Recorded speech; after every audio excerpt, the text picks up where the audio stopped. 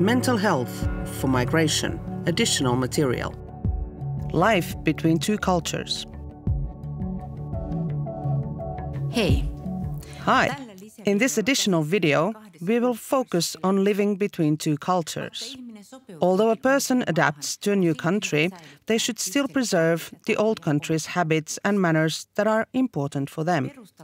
Ayrton, who has moved from Peru into Finland as a child, and Afghan born Homera, will tell how they cherish their own culture in the new country. I have thought about it that one needs to adjust into Finnish society and culture, adopt the Finnish culture, habits, and mm, but at the same time to also keep things and roots of your own culture, as in a way they are sort of uh, inside you, that you cannot erase them.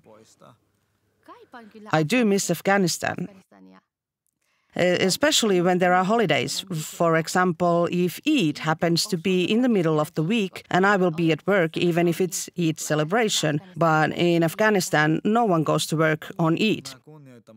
I honor my own culture in a way that I listen to like music from my own culture and sometimes cook food with the family. Or else I just remember things from there mm, um, or something. Our dad has taught us that you're rich when you have many languages and several cultures.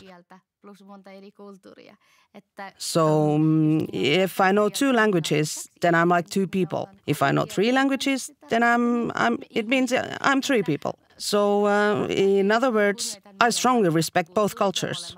Occasionally, when I say my country, I mean Finland and Afghanistan. Both are my countries.